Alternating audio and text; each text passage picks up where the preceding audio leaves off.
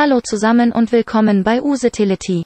Heute werden wir sehen, wie man The Legend of Neverland auf dem PC mit dem brandneuen BlueStacks 5 spielen kann, das für blitzschnelle Geschwindigkeit und hochoktanige Action konzipiert ist.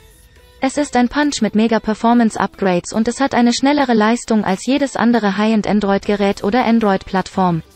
Dank BlueStacks 5, dem Android-Emulator, den wir zum Spielen von The Legend of Neverland empfehlen, können wir The Legend of Neverland einfach herunterladen und installieren und das Spiel auf unserem Windows-PC mit Tastatur, Maus und großem Bildschirm genießen. Also, ohne weitere Umschweife, lasst uns loslegen. Zuallererst müssen wir unseren Lieblings-Webbrowser öffnen. Wir haben hier den, den wir bevorzugen. Gehen wir zur nächsten URL, die ich grün markiere. Dort sehen Sie sie auf dem Bildschirm. Sie brauchen nichts einzugeben, denn in der Videobeschreibung und dem ersten angehefteten Kommentar ist ein Link enthalten. Wir sind hier auf unserer Website von Usitility gelandet, wo wir eine detaillierte Beschreibung haben, wie man The Legend of Neverland auf PC herunterladen kann. Wir scrollen ein Stück nach unten und klicken auf die Schaltfläche Spiel auf PC herunterladen. Sobald wir auf den Link klicken, landen wir hier auf der Website von BlueStacks, dem Android-Emulator, den wir zum Spielen von The Legend of Neverland auf dem PC verwenden werden. Wie Sie hier sehen können, haben wir eine Reihe von Vorteilen bei der Verwendung des Emulators. Benutzerdefinierte Steuerelemente, mehrere Instanzen, Instanzsynchronisation, Makros, Skripte, hohe FPS und so weiter. Jetzt laden wir The Legend of Neverland herunter, indem wir auf die Schaltfläche Play on BlueStacks klicken, die ich grün markiert habe. Dann klicken wir darauf. Und der Download beginnt und endet sofort. Hier ist er, der Download. Es ist eine ausführbare Datei. Wir werden das Installationsprogramm starten, also klicken wir auf die Datei. Wenn wir Windows 10 verwenden, wurden wir um Erlaubnis gebeten, Änderungen am Gerät vorzunehmen. Wir haben ja gesagt, ich minimiere den Browser, um das Installationsprogramm besser sehen zu können. Das Installationsprogramm ist sehr einfach. Er besteht aus zwei Optionen, Installieren und Installationspfad. Ich werde erklären, was der Installationspfad bewirkt. Wir klicken einfach darauf. Wir sehen, dass hier der Pfad angegeben ist, in dem der Emulator installiert wird. Wenn wir dieses Verzeichnis ändern wollen, müssen wir auf die Schaltfläche, Durchsuchen, klicken, ein anderes Verzeichnis wählen und den Emulator dort installieren, wo wir wollen. Ich werde es bei der Standardeinstellung belassen. Ich klicke auf Zurück und ich klicke auf Installieren. So, das war's. Die Installation beginnt und fährt mit dem Herunterladen der Megabytes fort, die auf dem Bildschirm angezeigt werden. Beim Herunterladen können es mehr oder weniger Megabytes sein. Die Downloadgeschwindigkeit kann schneller oder langsamer sein, je nach ihrer Internetverbindung und je nach der Geschwindigkeit der Emulator-Server. Heute sind sie super schnell. Der Download ist abgeschlossen, und nun geht es mit der Installationsphase weiter.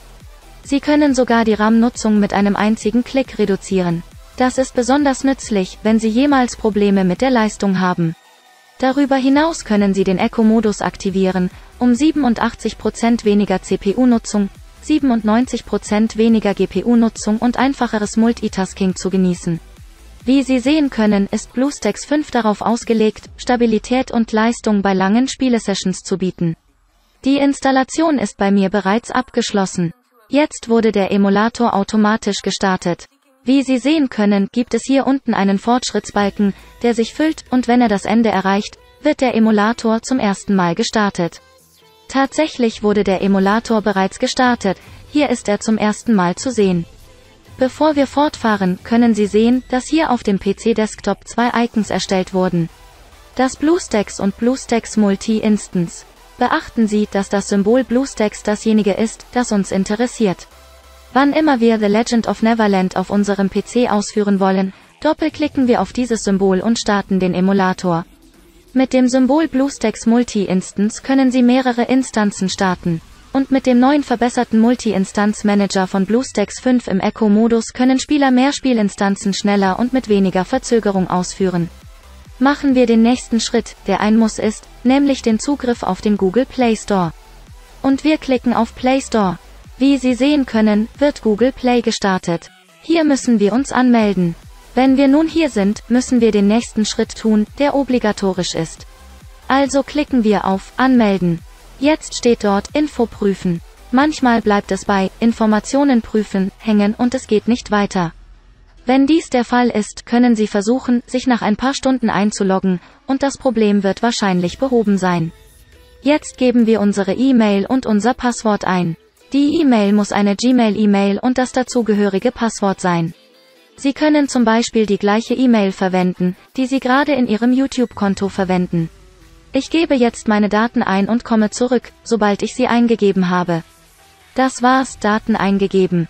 Hier heißt uns Google willkommen und bietet uns die Nutzungsbedingungen an.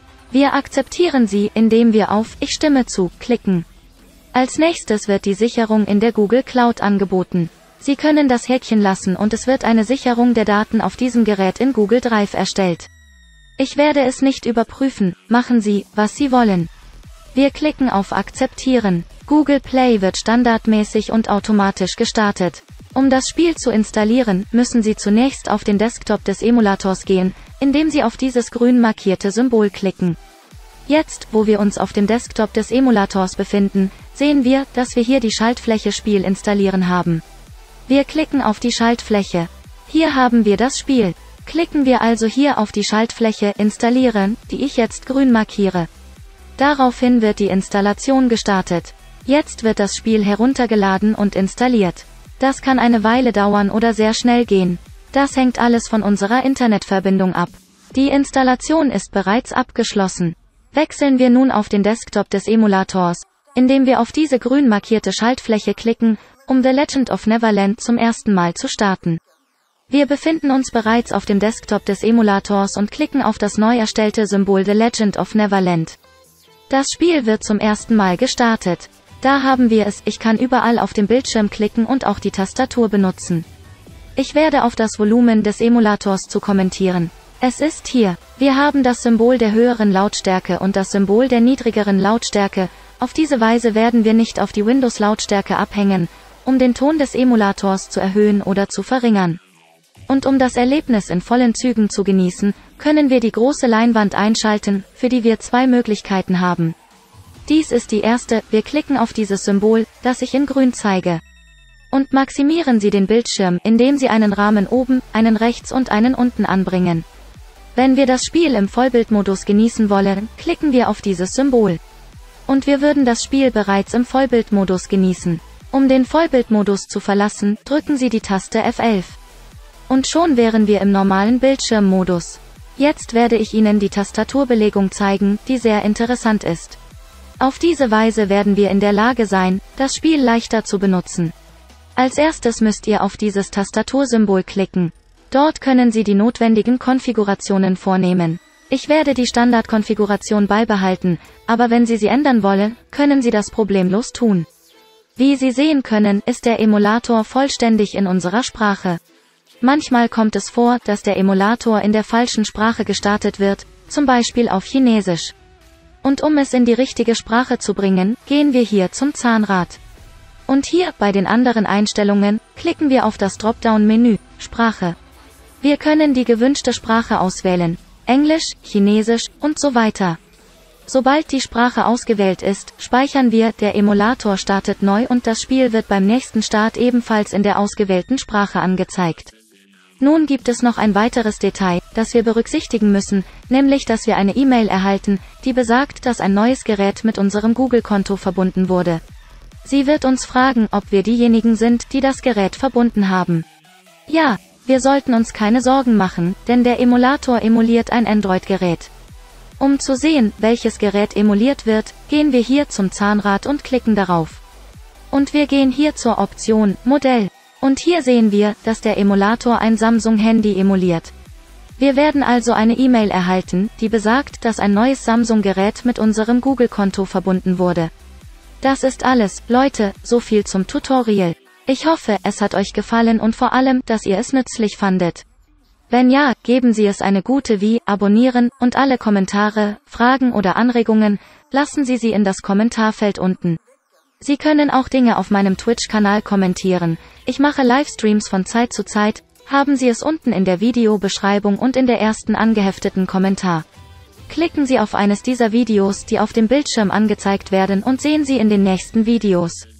Auf Wiedersehen.